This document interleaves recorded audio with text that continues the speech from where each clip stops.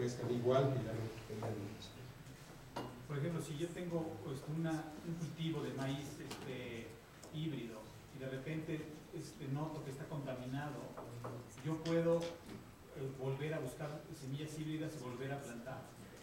O, o- o una vez estando contaminado ya no hay solución. ¿Qué pasa? Si, si- si tú eres un productor eh, con semillas híbridas que compras una bolsa, de, un saco de semillas a, las- a las empresas o a los, a la- a los comercios de semillas, lo que tú haces es utilizar una, tecnología, una semilla que, siembras y retiras todo de tu campo. Lo importante es producir para el mercado. Entonces, no te quedan semillas. Si tus semillas híbridas se contaminaron, tú no te puedes quedar con tus semillas. Tendrías, que tener un aviso a las autoridades, decir, eh, autoridades, tengo semillas híbridas de Monsanto, Bayer, de Pioneer o de Dow, y tienes que dar aviso a la empresa también, y las empresas tendrían que venir a recolectar tus muestras y ver qué tanto estás contaminado y qué, qué tanto le debes a las empresas. Pues, Para el campesino eso es, eso es fatal, ¿no? ¿sí? Si en Estados Unidos es, es difícil, bueno, ya el caso de la contaminación transgénica está más o menos desde 2001, eh, está en expansión, es decir, cada vez hay reportes científicos de que la contaminación está aumentando. No ha habido ningún caso de demanda de, estas grandes compañías a las empresas, a los campesinos. Sí hay semillas de las empresas contaminadas, es decir, hay semillas, hay lotes de semillas híbridas contaminadas con transgénicos. Ya las mismas empresas no pueden dar un lote de semillas seguro, porque los campos también se han sido contaminados. Los campos de germoplasma en Estados Unidos, en México, han sido ya contaminados. Es como una especie de, de diseminación biológica de una contaminación. ¿Y ¿Es fácil de reconocer a simple vista o se tiene que hacer un análisis? Se tiene que hacer un análisis biológico molecular, con, con, es decir, con kit que, que da las mismas empresas, porque nadie puede detectar el gen que ellos mismos construyeron, solamente con un, un sistema biológico que ellos mismos proporcionan. ¿Y, y qué otros países han, han rechazado los transgénicos? La Unión Europea ha rechazado el maíz, algunos eh, lotes, algunos tipos de maíz transgénico que no son aptos para el consumo humano, porque han generado problemas en animales de laboratorio o alergias la población. La soya también es restringida. Muchos países de la Unión Europea están rechazando con, con cláusulas internas o con sistemas eugénicos, es decir, que tienen que proteger algún tipo de cultivo o uso, uso comestible. Pregunta.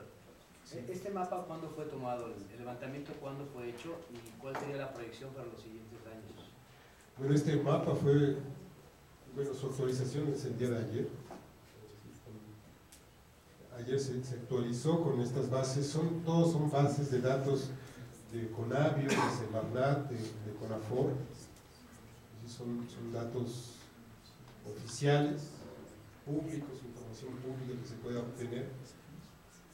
Eh, aquí tienen los datos, Senacica, que es el Servicio de Sanidad de Inocuidad Vegetal, así Biogen, Conafor, Conavio, son datos oficiales que se pueden obtener internet o se solicitan formalmente a estas dependencias.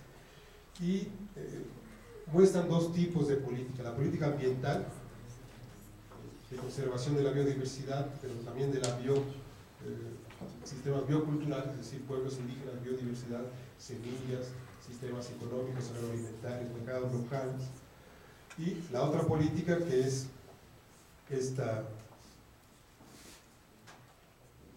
esta contradicción que se ve muy claramente en el mapa. Ustedes ven, estos, estas manchas son municipios donde hay sitios de liberación de maíz transgénico. Las manchas eh, moraditas, estas que están acá. Aquí hay ya iniciándose cultivos donde a poner estos, estas ma- marcas rosas, son donde están los sitios georreferenciados de las parcelas experimentales de maíz transgénico. Si ustedes eh, observan este mapa, hay eh, los puntos azules son la agrodiversidad de maíz, es decir, semillas nativas milenarias, en algunos coinciden muy, muy de cerca. Hay cultivos experimentales en zonas, por ejemplo, este- vamos a acercarnos a esta zona.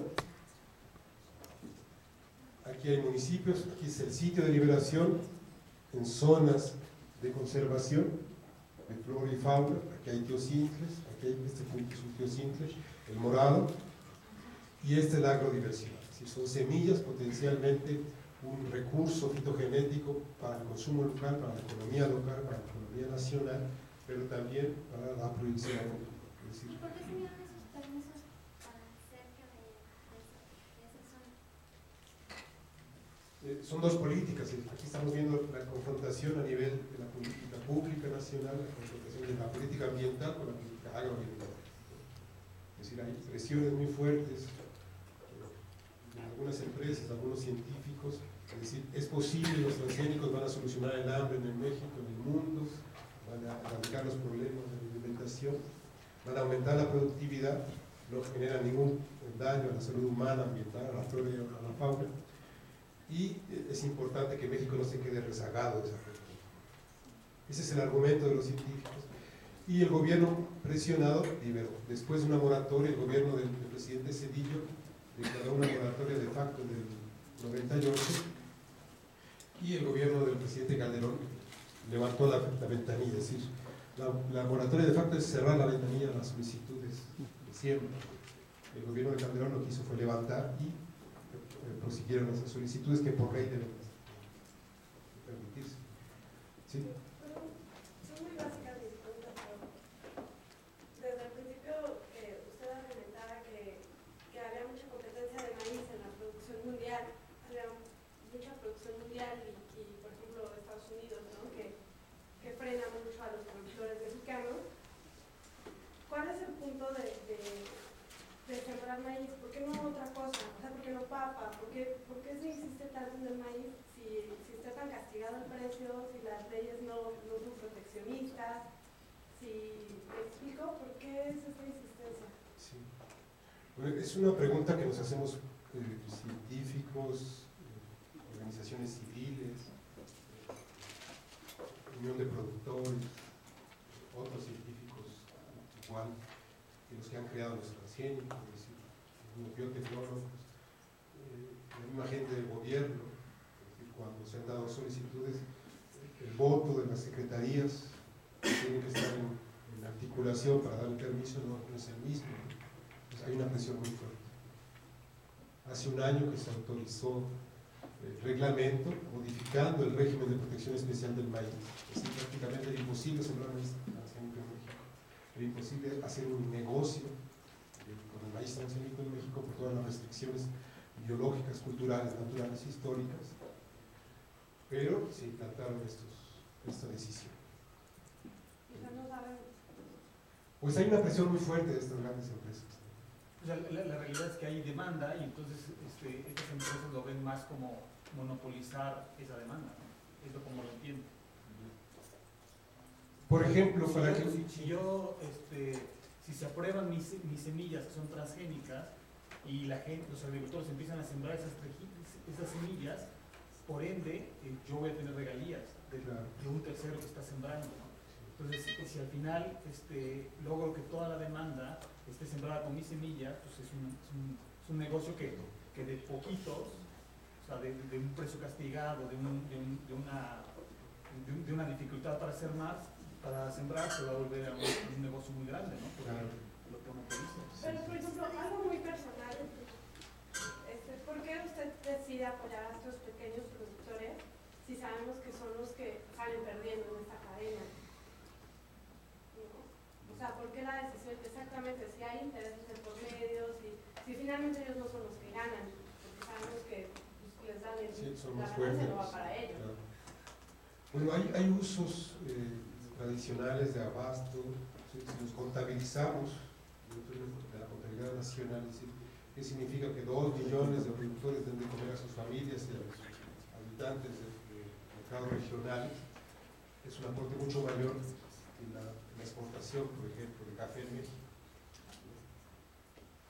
O, es un volumen mucho mayor que la importación de granos o la producción que se da en.